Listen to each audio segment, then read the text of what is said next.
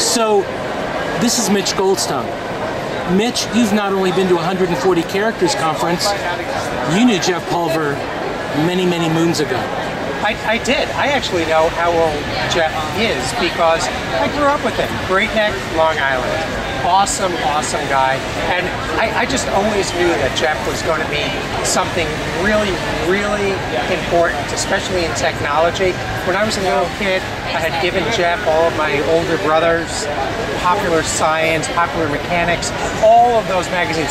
Huge, huge stacks. This was uh, when we were really young. So anyone, a young kid that was so interested in all those magazines had to be up to something. And, and, and he proved me right. Talk about your experience at the 140. Sure.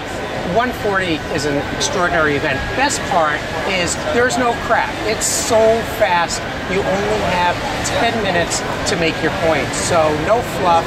Get right to the point. Say everything in 10 minutes. Just like with Twitter, where it's all not just 140 characters, but real quick presentations too. So how do people follow you on Twitter? On Twitter, I'm at Scan My Photos. Scan My Photos. My company is High Speed Photo Scanning at scanmyphotos.com.